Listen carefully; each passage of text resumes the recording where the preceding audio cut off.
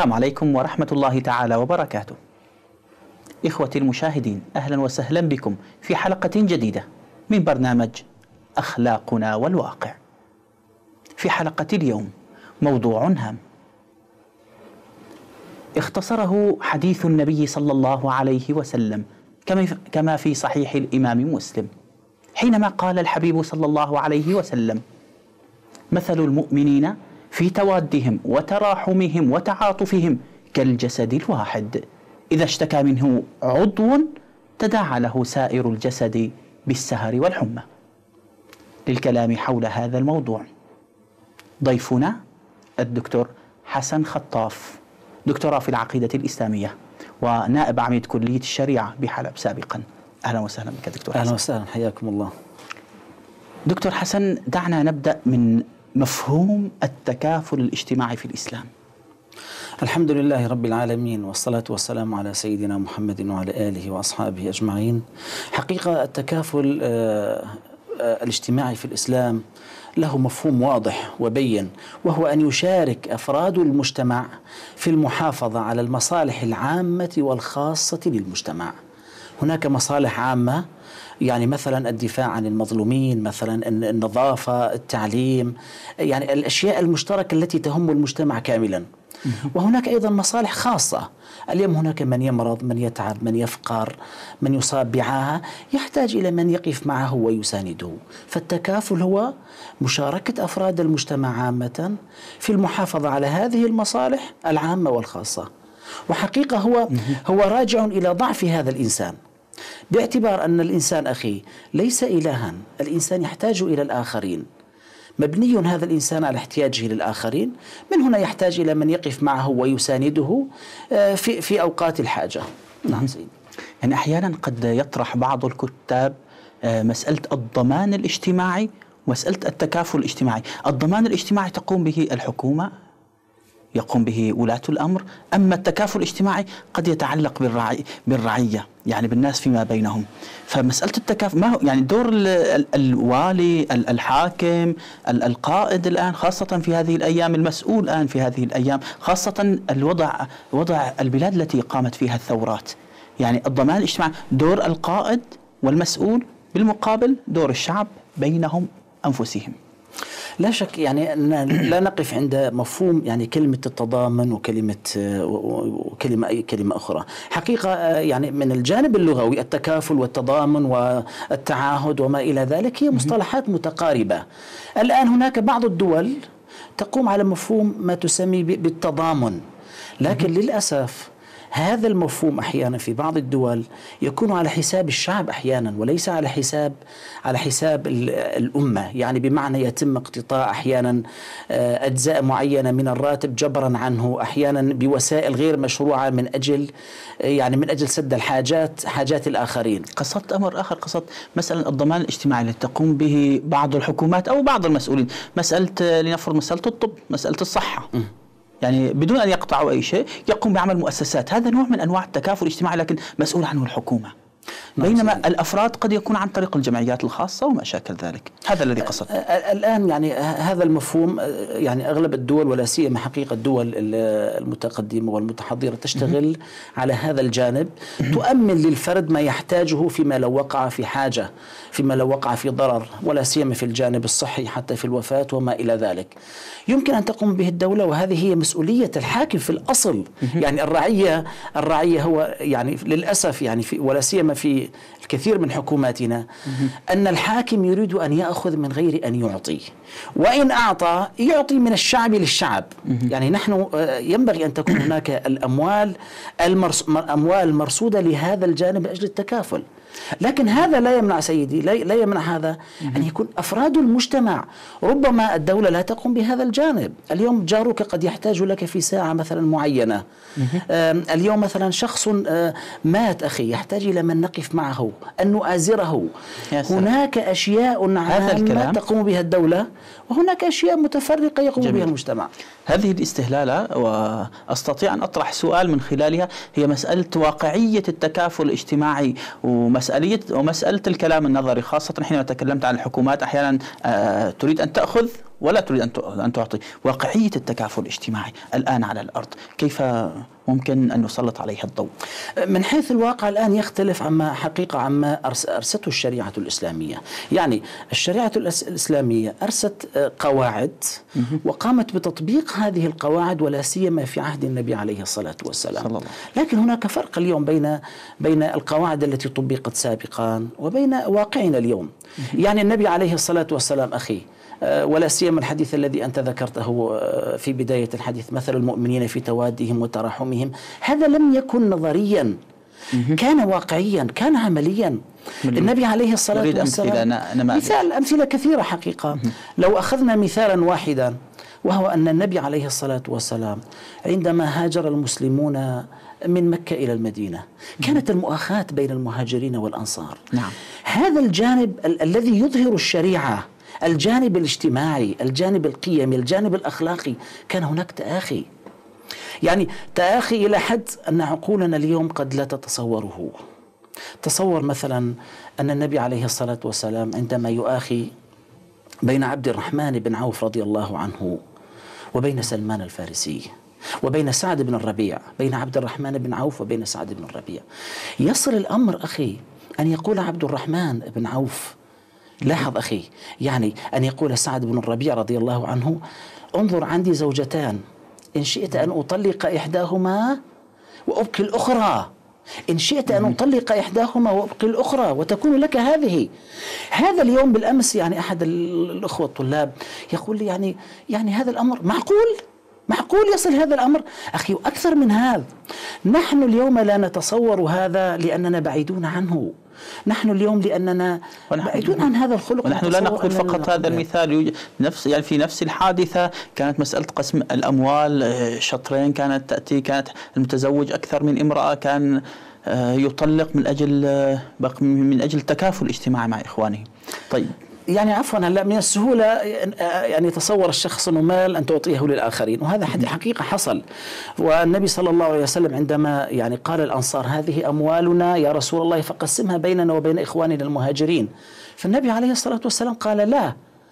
وقال المهاجرون عندها نحن تكفوننا المؤن- المؤنة ونشتغل بالأرض يعني بمثل ما يسمى عندنا بال- بالمزارعة. لكن أن يتصور الشخص أخي هنا أن يتصور الشخص أن يتنازل عن زوجة من زوجاته هذا المفهوم الآن لبعدنا حقيقة عن التطبيق العملي عن الثمرات ال- الواقعية للشريعة الإسلامية. ربما لا نتصور مثل هذا. هذا يحتم علينا أن نتعرف على أنواع التكافل الاجتماعي. يعني التكافل الاجتماعي ليس فقط له جانب واحد وإنما عدة جوانب. ممكن أن نقف عند أنواع التكافل الاجتماعي. يعني حقيقة باعتبار أن الإنسان أخي محتاج للآخرين. أنواع هذه الاحتياجات قد تكون آه، احتياجات ولا سيما المجتمع. يعني أنا لا أتحدث هنا فقط عن أفراد عن الحاجة لأفراد. هناك حاجة قد تمس الأفراد وهناك حاجة قد تمس المجتمعات مجتمع بأكمله. إذا يمكن أن نقول هناك تكافل يعني تكافل آه، سياسي أخي. يمكن أن نكون تكافل فكري. يمكن أن يكون عندنا تكافل إغاثي تكافل تعليمي. إذا هناك أشكال متعددة. ل- تكافل في الدعاء في الدعاء أقل شيء أخي. يعني على رأس هذه هذه الأنواع التكافل الفكري. وهذا التكافل قد لا يلتفت إليه كثير من الناس. طيب نركز الآن قبل أن نخرج إلى فاصل آه، نركز على مسألة التكافل. ذكرت التكافل بالدعاء. يعني ماذا تقصد أن التكافل بالدعاء؟ أهمية هذه المسألة ربما لا يتصور كثير من الناس خاصة الغارقين في, في الأمور المادية. أهمية أنه التكافل بالدعاء. نركز عليها ثم نخرج لفاصل. سيدي هذا التكافل اليوم ولا سيما في ثورتنا. يعني هناك اليوم من الأشخاص من يقول لك أخي أنا لا أستطيع أن أشارك ببدني. وآخر ربما يتملص ليقول لك أنا فقير. وآخر وآخر. أقل شيء أقل شيء أخي أن تشارك إخوانك في الدعاء. أقل شيء هذا. يعني أما اليوم يعني لا نبذل أي شيء. حتى الدعاء لا نبذله. هذه مشكلة حقيقة. نحن أخي النبي عليه الصلاة والسلام هذا الأمر مهم جدا. نتغافل عنه قضية الدعاء. النبي عليه الصلاة والسلام في غزوة بدر عندما احتاج المسلمون إلى نصر الله سبحانه وتعالى. ودائما نحن نحتاج إلى نصر الله ولا سيما في هذه الثورة المباركة. يقف داعيا الله سبحانه وتعالى حتى يصل به الأمر يصل بالنبي عليه الصلاة والسلام. يعني من كثرة الدعاء أخي يعني أن ينزل أن ينزل عن عن منكبه صلى الله عليه وسلم رداؤه.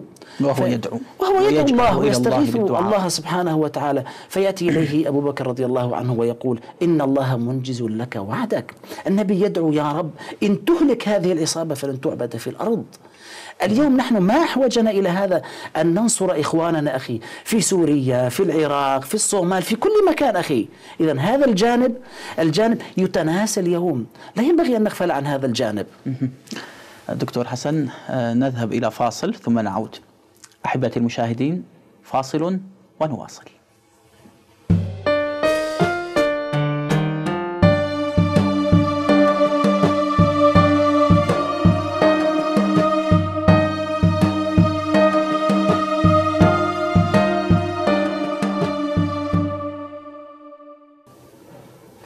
أهلا وسهلا بكم مجددا إخوتي المشاهدين في حلقة اليوم التكافل الاجتماعي. كنا قد وقفنا قبل الفاصل عند أنواع التكافل الاجتماعي. دكتور حسن خطاف وقفنا عند أنواع التكافل تكلمنا عند نوع وهو التكافل بالدعاء. حبذا أن نبدأ بمسألة الآن تكافل خاصة في سوريا. أقول في سوريا الناس يعانون من مسألة آه، قلة المواد وشح حتى الأطعمة مسألة التكافل الإغاثي. نبدأ. حقيقة التكافل لها أنواع عدة التكافل الإغاثي الآن من ذلك التكافل الفكري كما قلت التكافل الإعلامي. التكافل الإغاثي أيضا هذا أخي مرتبط مرتبط بمدى وجود يعني السيولة المالية ولو كانت قليلة عند الناس. يعني اليوم إحنا عندنا أنواع شتى للتكافل. مثلا اليوم على سبيل المثال نحتاج اليوم يعني ولا سيما الشباب الثائر أخي يحتاج من يقدم لهم الأموال. من أجل ش- شراء ما شراء ما يحتاجونه للوقوف ضد أولئك المجرمين. أخي اسرهم محتاجه اليوم أن نتكافل مع أسرهم. يعني لا يعقل اليوم آه، يقف في ساحات الجهاد ذلك الأخ الذي يقف في ساحات الجهاد وزوجته وعائلته وأولاده ل- يحتاجون إلى إغاثة منا. هذا هذا أمر مهم جدا. يعني أولئك الذين ذهبت بيوتاتهم، أخي أولئك الذين فقدوا أسرهم. فقدوا جزءا من من أعضائهم. نحتاج أن نقف معهم. هذا التكافل حقيقة اليوم كثير من المنظمات تقوم به. لكن أحيانا هذه المنظمات لا تكون بريئة في تكافلها. ربما تنشر بعض الأفكار أخي. ربما هذه الأفكار تتعارض مع معتقداتنا. يعني علينا أن نحتاط إلى هذا الجانب. يعني الإغاثة التي انتشرت مثلا في أفريقيا سابقا تبين فيما بعد أن التنصير كان وراءها. نحن اليوم أيضا ينبغي أن نهتم من جانبين. أن نهتم بهذا الجانب أن نساعد الآخرين.